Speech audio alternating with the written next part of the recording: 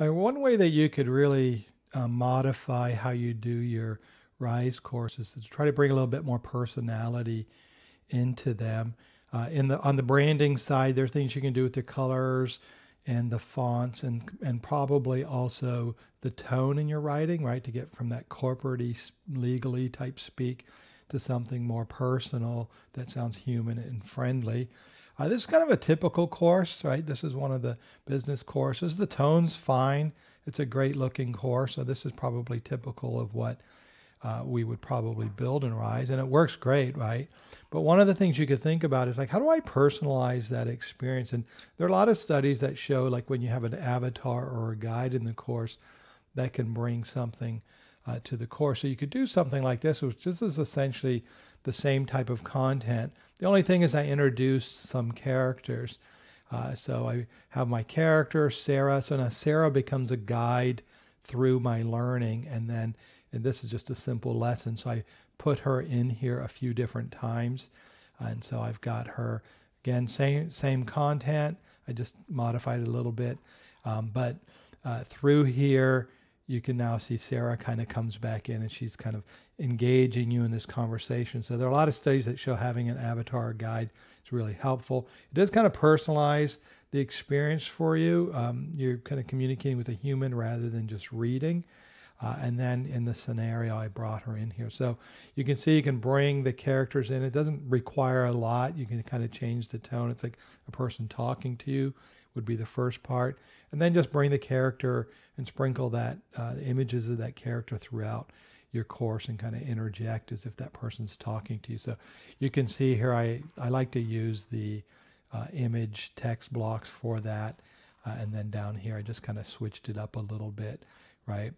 and then you interact. And then here's a scenario. And if you're wondering on the scenario here, I just put in a white background so it kind of blends with the course. Uh, let's go ahead and preview this and you can see kind of what it looks like. So I've got, you know, Sarah kind of introduced the course and then I go through my content. We're working on customer emails, go through that. And then here's the customer email. And then I'll Sarah saying, hey, let's think about this. And again, you're kind of just introducing a personality mark these things, go through this, and now we have the scenario. And again, I put a white background on here, mostly just so the scenario looks like it blends with the rest of the course. It doesn't have that blurred out background, and you kind of just go through the scenario. And I changed this up. This is actually, if we look at the lesson, this is actually the content that I believe is down here in this accordion interaction. So instead of using the accordion interaction, I use the scenario block, which is kind of another a bonus tip in there. So if we come back in here, you know, I'm going to give you the information. So, you know, outstanding customer service is friendly. Here's a good example of that, right? The response that you could have put in there. Uh, and then here's a bad example of that.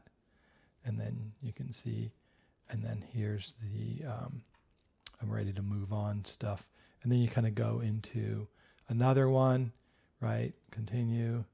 Uh, customer service thoughtful, blah, blah, blah, move on.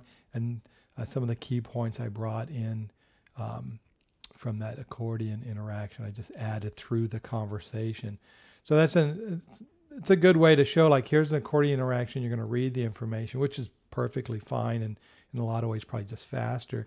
But if you do want to kind of add a personality to the course and then use an avatar guide, there's no reason why you can't use a scenario block to share that same information. So these are the good bad examples. And then this is what I did as a final point in the scenario. So if we kind of go back, let's go through one of these here. Uh, here's the key point. It's efficient. That was the top of the accordion interaction. Here's the good example. Here's the bad example. And then here, if we come back to that, here's that kind of key point in there that's summarized. I'm ready to move on. And then she kind of gives you a summary point and you continue.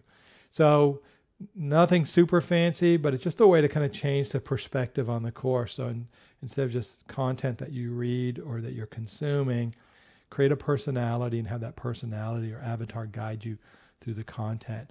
Uh, it's not something we see a lot in the Rise demos that we see, but it's something that can kind of change up the way your courses look and feel.